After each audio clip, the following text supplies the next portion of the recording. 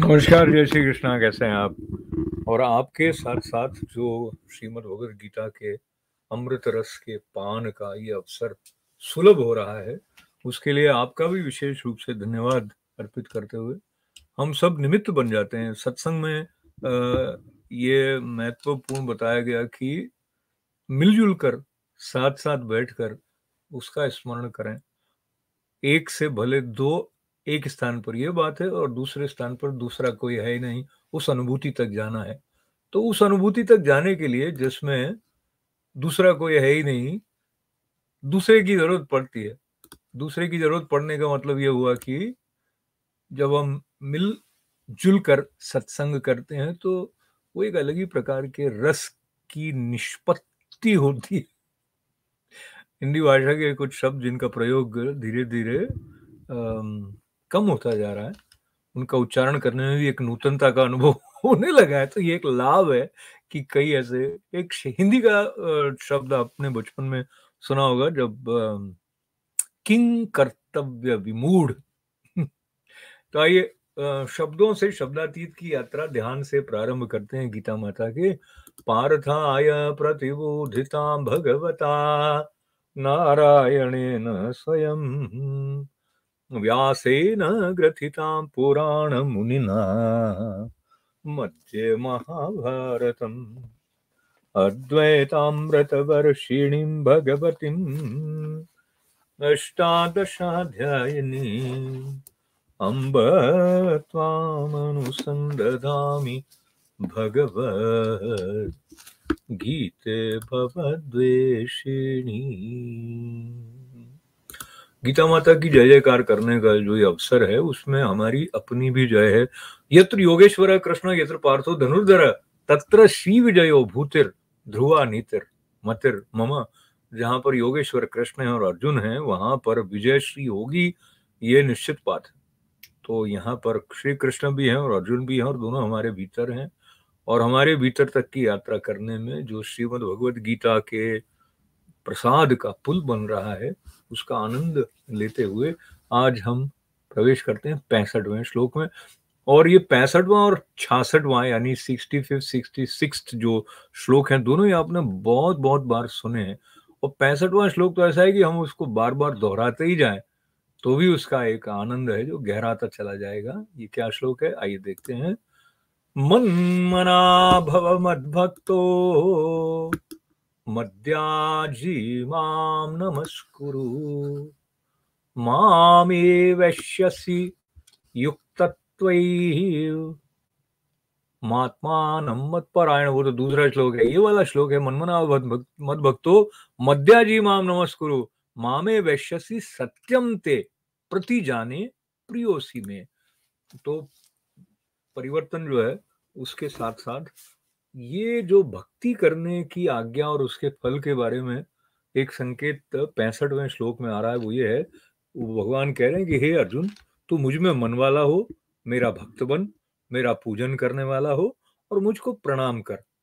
ऐसा करने से तू मुझे ही प्राप्त होगा, ये मैं तुझसे सत्य प्रतिज्ञा करता हूँ।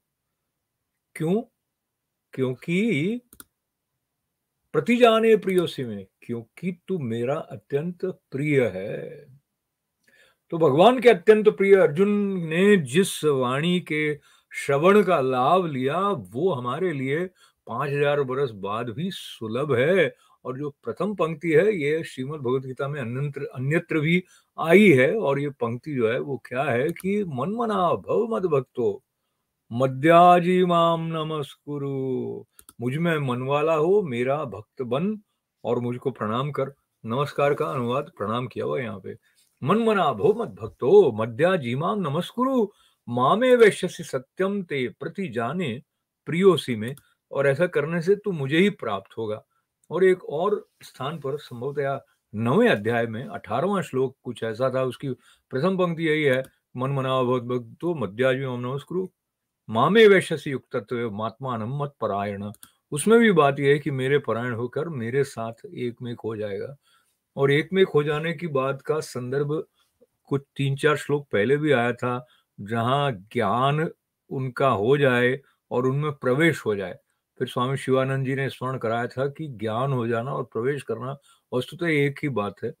तो ये जो एक बात है, इसको लेके धर्म के परिभाषा तरह तरह से की जाती है, एक ये भी कहा जाता है, धर्म वो है जो धारण करता है। और आप अपने धर्म का आचरण कर कर आगे जाएँगे वो आपके लिए कल्याणकारी होगा और पर धर्म भयावह, ऐसा मतलब दूसरे का धर्म। यानी जो आपकी आंतरिक पुकार है कि मैं इसके लिए बना हूँ, उसकी अनदेखी नहीं कर रही है, ये वर्तमान संदर्भ में अब हम इसका इंटरप्रिटेशन लेते हुए, ये जो छियासठवां श्लोक है, ये आपने लगभग लगभग बहुत स्थानों पर सुना भी होगा और कई जगह पे अखबारों में जब गीता का कुछ उल्लेख करते हुए कुछ बात छापते हैं, तब भी ये आ जाता है। क्या है ये वाला श्लोक? सर्वधर्मान परित्यज्य मामेकम शरणं व्रज। अहम त्वाम सर्व पापेभ्य अहम त्वा सर्व पापेभ्यो मोक्ष यिष्यामि माँ शुच। तो सर्वधर्मान परित्यज का मतलब तो समझ में आ ही जाता है कि सारे ही धर्मों को छोड़कर, पर अब ये देखना है कि सब धर्मों को छोड़ने से मतलब क्या है? तो ये कर्तव्य की दृष्टि से यहाँ पर जो कर्तव्य है, कर्म है, जैसे कि आप गृहस्थी में है तो आपका एक धर्म है, वो एक प्रकार का धर्म है। यहाँ पर बल्कि यहाँ क्या सभी हिंदू ग्रंथों में जब धर्म की बात आती है तो उसमें कोई ईसाई या मुस्लिम या हिंदू धर्म या इस प्रकार का नहीं। एक तो हिंदू धर्म ही शब्द नहीं है किसी भी हमारे ग्रंथ में। और दूसरा, ये जिस समय के ग्रंथ हैं, उस समय तक अन्य जो अब हम धर्म के नाम पर जिनके साथ तुलना करते हैं, उनका तो अस्तित्व भी नहीं था। तो ये लेकिन धर्म शब्द प्रयोग इस अर्थ में हुआ है कि आपने क्या धारण किया हुआ है, अपनी क्या पहचान लेकर आपके कर्तव्य कर्मों का स्वरूप क्या है, उस दृष्टि से भी है। और भी कई बातें हैं जिनके बारे में अभी उल्लेख नहीं करके यहाँ जो संदर्भ आया कि संपूर्ण धर्मों को यानी संपूर्ण कर्तव्य कर्मों को मुझमें त्याग कर तो त्यागने का मतलब अर्पण करने से हो गया, मुझमें त्याग कर, तू केवल एक मुझ सर्वशक्तिमान, सर्व आधार परमेश्वर की ही शरण में आ जा। मैं तुझे संपूर्ण पापों से मुक्त कर दूँगा। तू शोक मत कर। तो पाप क्या है? पाप में एक तो दूसरे को पीड़ा पहुंचाना पाप है। ये परिभाषा भी आती है। पाप क्या है? कि आपका अपने आप को आत्मा नहीं समझकर, देह ही मानकर, सीमित रूप में अपने को संकुचित मान लेना भी एक दृष्टि से पाप है। पाप क्या है? तो जो कुछ हमें अपने सत्य से दूर ले जाता है, वो पाप है, ऐसा भी कहा जाता है। तो सब पापों से मुक्त कर देने का तात्पर्य स्वतः ऐसा हो जाता है, जब भगवान की शरण ले ही ली, जब सब कुछ उनको अर्पित कर ही दिया तो फिर संकुचित रहने वाली स्थिति से तो स्वतः मुक्ति मिल ही गई। और उसके साथ साथ ये आश्वासन जो है, वो एकदम व्यावहारिक दृष्टि को भी लिए हुए है कि जब भगवान में शरण ले ली, सर्वधर्मान परित्यज्य करके सिर्फ़ भगवान में ही शरण ले ली। अन्य किसी का आश्रय लेने की बात मन में रही ही नहीं तो वो सारे पापों से मुक्त कर देंगे। मोक्ष श्यामी माँ शुच और मुक्त करने के साथ साथ ये भी आश्वासन है कि तू शोक मत कर। तो शोक रहित होने की जो एक सशक्त और सार्थक और गंभीर गूढ़ यात्रा शुद्धि के साथ भी उसका संबंध है। उसका साथ लेते लेते जो अठारवा अध्याय कुछ ही दिनों में समाप्त हो जाएगा, मगर गीता माता का जो संदेश है वो कभी समाप्त नहीं होने वाला है। और उस संदेश में ये भी बात है कि आप वो हैं जो कभी समाप्त होने वाले नहीं हैं। आप वो हैं जो सदा बने रहे हैं और बने रहने वाले हैं और बना रहे हमारे भीतर सबके कल्याण और सबके मंगल की प्रार्थना का भाव। ओम पूर्ण पूर्णमिदम पूर्णात पूर्ण पूर्णस्य पूर्णमादाय पूर्णमेवावशिष्यते। ओम शांति शांति शांति। बहुत बहुत धन्यवाद। जय श्री कृष्ण।